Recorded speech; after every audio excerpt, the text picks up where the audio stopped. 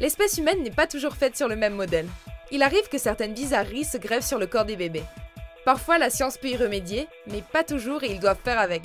Bienvenue sur Watch Mojo français. Aujourd'hui, nous faisons le top 10 des choses bizarres que seulement certains bébés ont.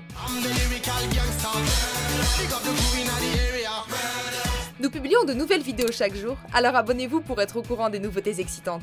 Pour cette liste, toutes sortes d'étrangetés sont prises en considération, mais soyez rassurés, aucune ne porte atteinte à la vie du bébé. Prenez des notes, car vous allez apprendre des faits scientifiques surprenants. Numéro 10, la queue vestigiale. C'est une malformation du coccyx, la colonne vertébrale dépasse. Euh, c'est.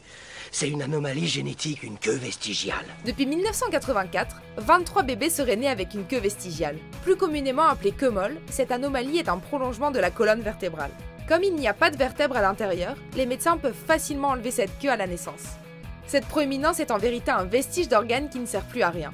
C'est grâce à l'évolution de l'espèce humaine que l'on a perdu cette excroissance pour ne garder que le coccyx. En Indochine française, un enfant de 12 ans aurait eu une queue de 22,9 cm. Oh mon de Dieu. Tu me crois ce que c'est? Oh merde, c'est vrai que j'ai frétille. Numéro 9, les yeux verts. Sachez que seulement 2% de la population mondiale naît avec les yeux verts. Si vous en avez, vous êtes donc un mutant plutôt rare. Mutant et fier de l'être. Santé. Le pigment classique qui définit la couleur des yeux est la mélanine, que l'on trouve en grande quantité dans les yeux marrons. Les yeux verts ne possèdent pas de mélanine, mais plutôt des cellules du nom de guanocytes. Ces cellules sont très rares chez les humains et se retrouvent plutôt chez les animaux et particulièrement chez les chats. Les personnes aux yeux verts ont sûrement un côté sauvage plus fort que les autres.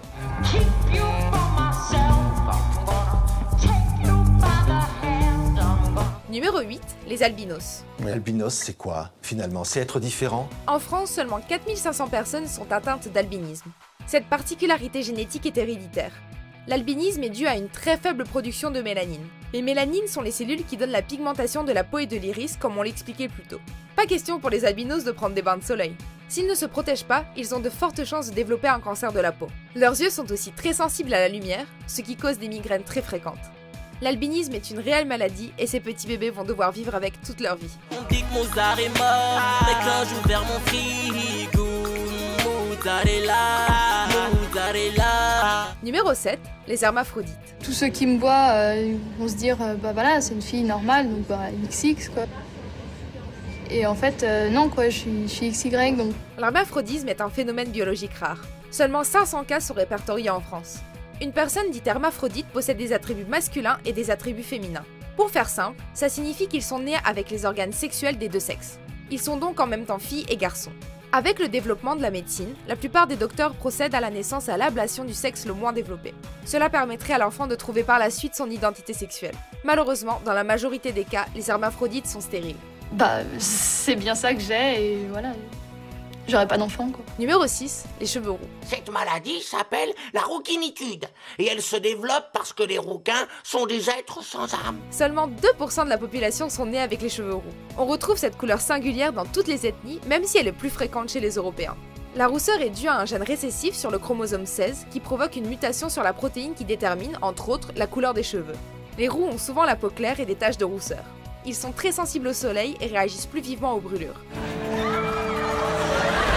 Savez-vous que l'origine exacte des cheveux roux a seulement été découverte en 1997 Incroyable, non?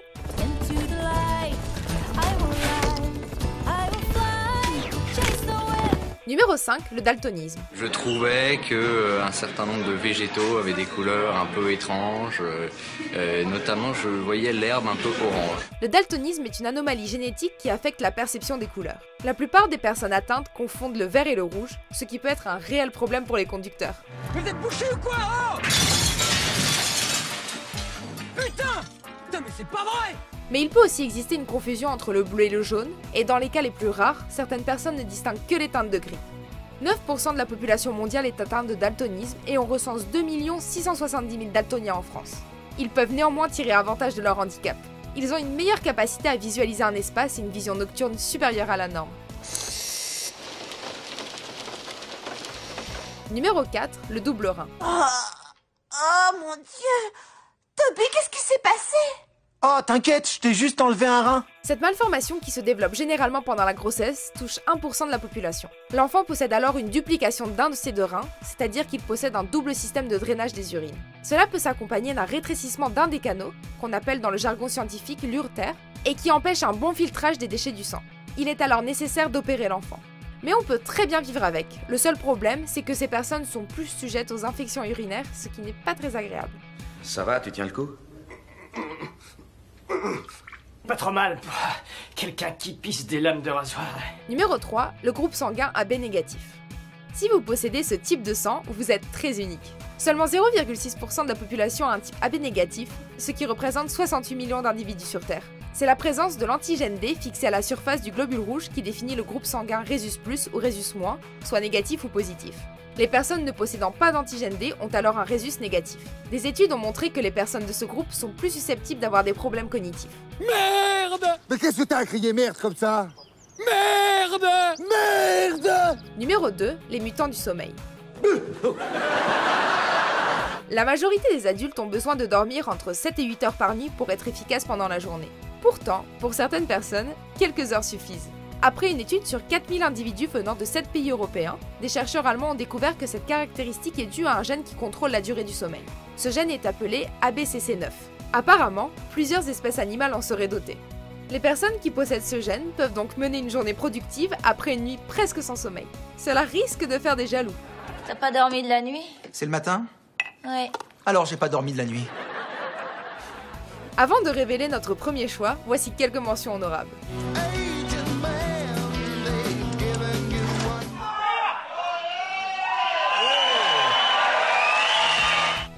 1, le sinus préauriculaire. Voici une particularité du corps humain bien étrange. Il s'agit d'un petit trou appelé sinus préauriculaire situé juste au-dessus de l'oreille. Moins de 1% de la population le posséderait en Amérique du Nord, alors que 10% l'auraient dans certaines régions d'Afrique. Ces minuscules orifices seraient des restes évolutifs de branchies de poissons. Malheureusement, ces trous ne permettent pas de respirer sous l'eau. Cette étrange malformation ne pose pas réellement de problème, mais le trou peut tout de même s'infecter ou un kyste peut se développer. Il faut donc surveiller cette anomalie. Va voir là-bas, j'y suis moi aussi. Pas choisi d'être une anomalie. Êtes-vous d'accord avec notre sélection? Jetez un coup d'œil à ces autres super vidéos de WatchMojo français et n'oubliez pas de vous abonner pour être au courant des nouveautés.